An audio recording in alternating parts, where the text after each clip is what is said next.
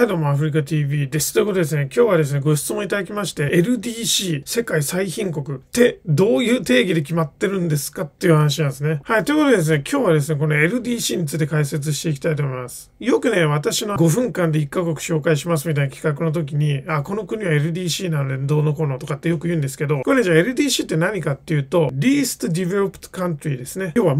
最も開発されてない国ってことですね。後発開発途上国って言われてるんですけど、日本語だとね。はい。これね、実はね、あの、国連が決めてるんですね。で、国連の国連開発計画委員会っていうね、まあ、CDP っていうのがあるんですけど、ここは決めてます。で、実際ね、この CDP が決めてるのは、こう、基準を設けてるだけなんですね。はい。今回はこの基準でいきますよ、みたいな感じですね。で、それに対して、まあ、国連経済社会理事会が、こう、審議をして、で、国連の総会で決議されるっていう、まあ、そういうあの流れになります。で、これね、実はね、あの、3年に1回リストの見直しが行われてるんですね。なんで、こう、あの、新しく認め、まあ、新しく認められるとあんまないんですけど、あの、卒業していく国がね、結構出ます。で、どういう国がじゃあ LDC なのか、この条件が3つあります。まず1つ目が、1人当たりの GNI。まあ、これ3年間の平均を取るんですけど、これが1018米ドル以下ですね。で、2つ目が HAI って言ってですね、ヒューマンアセットインデックスっていうのがあるんですね。まあ、このさっき言った CDP が決めた基準なんですけど、あの人的資源の開発度合いですね。を示すための基準です。例えばなんですけど、こう、その国で栄養不足に陥ってる人の割合だったりとか、5歳以下の乳幼児のあの死亡率とかですね。あとは妊産婦死亡率とか、中等教育以上の教育を受けている人がどんぐらいいるかとか、あとは成人の識字率とかですね。まあ、いろんな基準に基づいて、この HAI ですね、っていうのは決められます。で、3つ目は EVI って言って、Economic Vulnerability Index って言うんですけど、このね、Vulnerability っていう単語めちゃくちゃ難しいと思うんですよ。脆弱性ですね、日本語で言うと。はい。なので、でこの経済がどれぐらい安定してるか、まあ、要は外的ショックからのこう、まあ、脆弱性みたいなところを測るための指標ですね。まあ、例えばこう人口規模とかね、地理的な要因とか、経済構造とか、貿易のショック、まあ、あとはこう自然災害のショックみたいなこうリスクをいろいろ考えてこう決められてるんですね。これ EVI です。 Economic Vulnerability Index っていうね。はい、この3つです。はい、まとめますと、まあ、1人当たりの GNI。これ3年間平均ですね。あとは HAI、 Human Assets Index。あとは EVI、 Economic Vulnerability Index。この3つですね。はい。で、これらを、まあ、基本的には全部満たす国っていうのが認定されます。でね、これ面白いのはね、まあ、その該当国の承認が必要なんですよ。なので、例えばね、はい、あなたの国これ3つ満たしました。LDC ですっていうのは言えないんですよね。あなたの国 LDC にこう認定される条件満たしましたけど、どうしますか？みたいな感じで、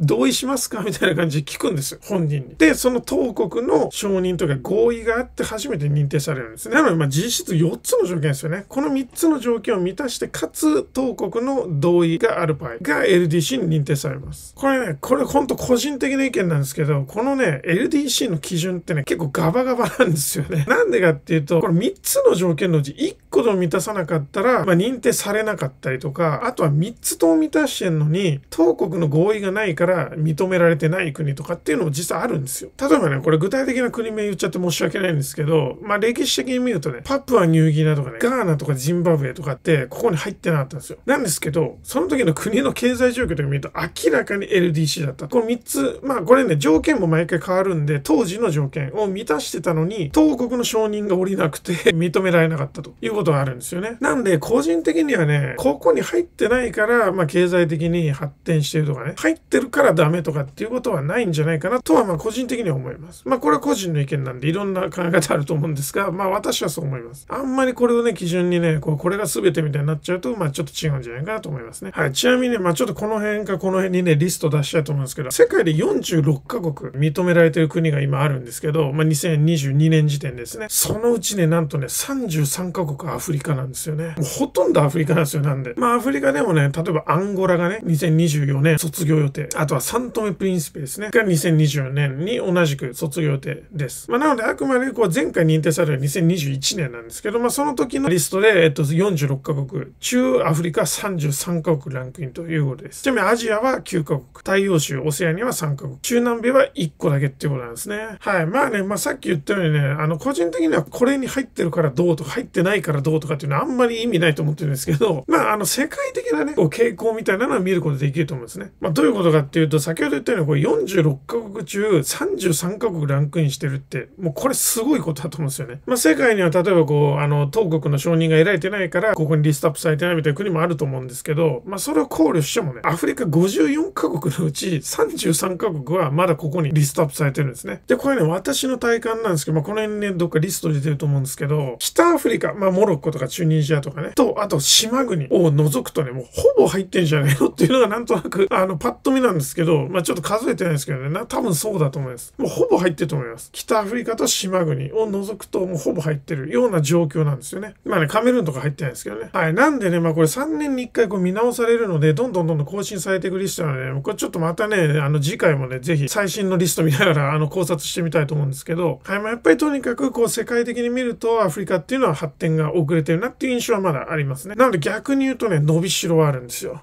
これ毎回私言いたいんですけど、これね、今回紹介した理由っていうのも、アフリカがダメだって言いたいんじゃなくて、逆に言うと、これ、まだまだこれからの地域ですよってことなんですよ。日本だってね、もう何百年前鎖国なんて意味わかんないことやってて超出遅れたのに、たったね、100年ちょいでここまで来たわけですよ。1900年以降ね。なんで、これね、まだまだ、あの、彼らチャンスめちゃくちゃある国なんで、まあ我々ができるのはね、こう、例えばビジネスを始めようとこう考えてみるとかね、こういろんなことできると思うんで、まあそれでこういうね、機会で、あの、ご紹介してます。ということで、皆さんもね、この中で、まあいろいろね、リストを今日お見せしたんですけど、この中で興味ある国あったらぜひコメント欄に書き込んでください。はい、ということで、またお会いしましょう。アビアント。